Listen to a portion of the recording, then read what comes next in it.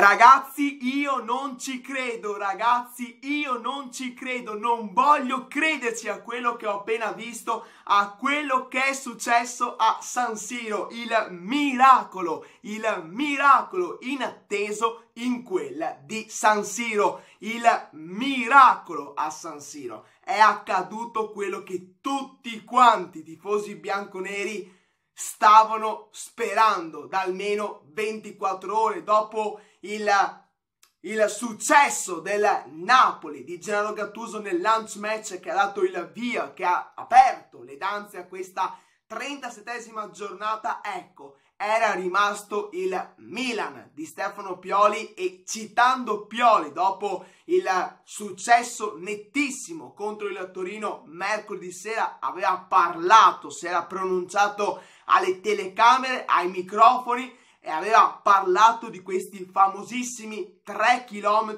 alla fine del percorso, alla fine della tappa. Ecco, questi famosissimi 3 km alla fine non sono stati percorsi questa sera dal Milan di Stefano Pioli. Un solo chilometro che però non basta, non basta per centrare dopo sei anni di attesa, dopo tantissimo tempo che il Milan non gioca, anzi forse anche qualche anno di più, 7-8 anni di assenza dalla coppa, dalle grandi orecchie, ecco, non è bastato questo ultimo chilometro, questo punto casalingo, questo 0-0 a reti inviolate contro il Cagliari, il Cagliari di Leonardo Semplici. Vorrei parlare almeno un minuto di questa formazione che nelle ultime sette partite dopo tre sconfitte consecutive che lo avevano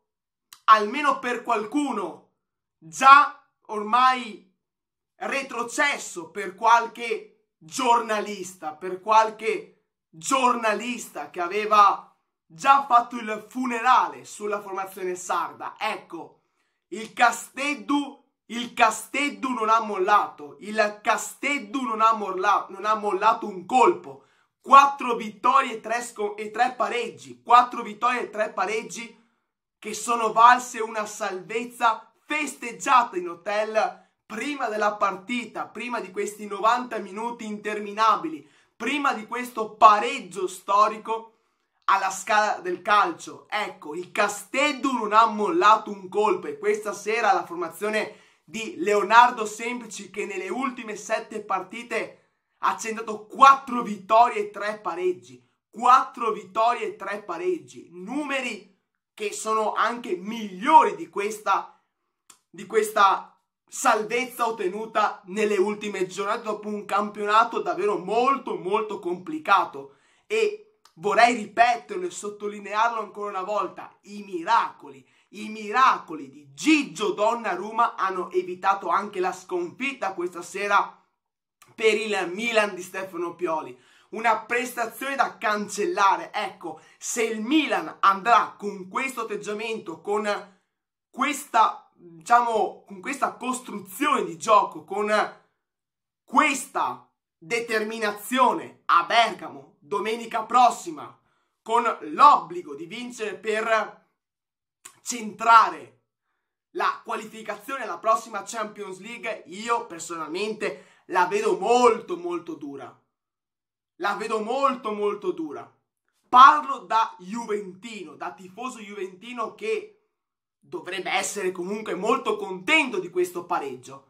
Io sono contento che la Juve è ancora in gioco per la Champions League, perché non centrare la Champions League sarebbe un tracollo clamoroso, un tracollo epocale, perché ok, puoi non vincere lo scudetto dopo nove stagioni consecutive in cui hai vinto lo scudetto, però non è non entrare neanche tra le prime quattro.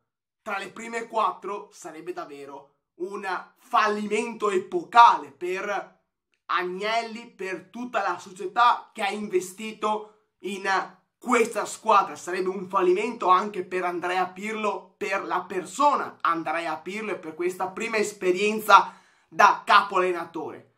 Però se confrontiamo il percorso del Milan e confrontiamo il percorso della Juventus, io alzo la mano alzo, alzo la mano e dico, ragazzi, il Milan merita 9 volte su 10 la Juventus di partecipare alla prossima edizione della Champions League. Ma questo è lo sport e se tu, Milan, non costruisci un'azione degna di poter entrare in Champions League, allora ragazzi si deciderà tutto tra 7 giorni.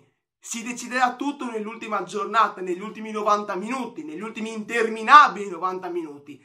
Atalanta, Milan, Napoli, Hellas Verona, Bologna, Juventus. Il Milan che non ha mai convinto perché il Milan ha tentato una conclusione con Salemakers, ha tentato una, una, una, una, conclusione con Calabria, ha tentato una conclusione nella finale di tempo ancora con Salemakers, un'imbucata di Brahim Diaz per Rebic, 4 gol nelle ultime due partite contro Juventus e Torino, ma questa sera neanche una chance per Ante Rebic. Ma nel secondo tempo, prima su Pavoletti e poi su un calcio d'angolo dove ha staccato più in alto di tutti Diego Godin, l'ex nero-azzurro ha rischiato di festeggiare al meglio questo derby personale dopo l'anno vissuto in nero-azzurro lo scorso anno. Nel finale tante occasioni, tante pale vaganti, ma la palla alla fine non è entrata e quindi questo punto riapre nuovamente, ancora una volta, la corsa Champions League. Toglietevi dalla testa che l'Atalanta non giocherà quella partita perché l'Atalanta potrebbe festeggiare il secondo posto, record personale. Numero di vittorie, record personale. Record di vittorie nel girone di ritorno, record personale. Ecco, quindi toglietevi dalla testa che l'Atalanta non giocherà l'ultima partita. Quindi con la vittoria, io la darei anche quasi per scontata, però in questa annata ho capito che dare qualcosa di scontato a questa Juventus è un po' rischioso. Quindi calma, calma, prima vinciamo la partita vinciamo la Coppa Italia mercoledì sera. Poi pensiamo alla trasferta del Dallara contro il Bologna. Eh ragazzi, 90 minuti interminabili, 90 minuti da soffrire, 90 minuti da cardiopalme. Poi possiamo continuare con tante ancora parole per enfatizzare cosa succederà domenica prossima un, un minuto, guarda, 7.46, 7 minuti e 46 di video post partita Milan-Cagliari. Parliamo anche del successo con l'addio annesso di De Zerbi. Servirebbe un video singolo per parlare del, del caso De Zerbi perché nella post partita ha annunciato ufficialmente l'addio al Sassuolo, l'addio anche al calcio italiano. Ecco, piango piango da tifoso, da primo tifoso di Roberto De Zerbi come allenatore. Piango per perderlo perché il prossimo anno sostituirà Luis Castro alla guida dello Shakhtar Donetsk. Quindi questa è una notizia ufficiale. Primo cambio in panchina. Il Sassuolo perde il suo grande traghettatore. Il Sassuolo perde un grandissimo allenatore. Forse l'allenatore migliore insieme a Gasperini, insieme a Juric in questa stagione, nulla togliendo a Antonio Conte. Però Roberto De Zerbi ha portato il Sassuolo all'ottavo posto in classifica a meno due. Il Sassuolo si giocherà le ultime chance di conquistare l'Europa Conference League grazie al successo nel derby ducale contro il Parma al Tardini. Parma che così c'entra un altro record negativo in questa stagione da dimenticare.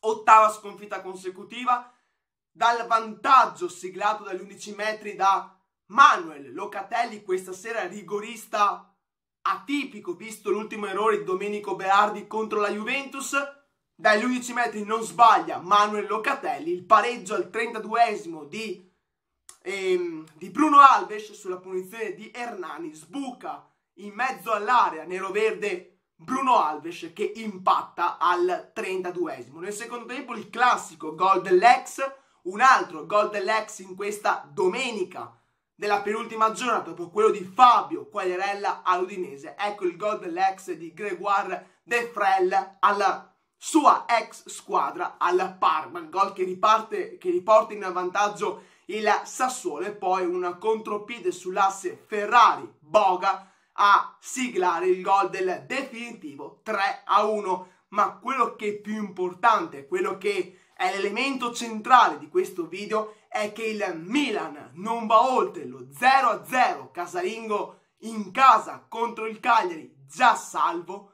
e quindi si dovrà giocare le ultime chance riguardanti la Champions League tra sette giorni al Gelwi Stadium contro l'Atalanta di Giampiero Gasperini è tutto aperto e adesso la Juventus può sognare una qualificazione che avrebbe del clamoroso alla prossima edizione della Champions League. Vi ringrazio per l'attenzione, lasciate un like al video, iscrivetevi come sempre al canale e seguitemi anche su Facebook e Instagram. Ci vediamo in un prossimo video.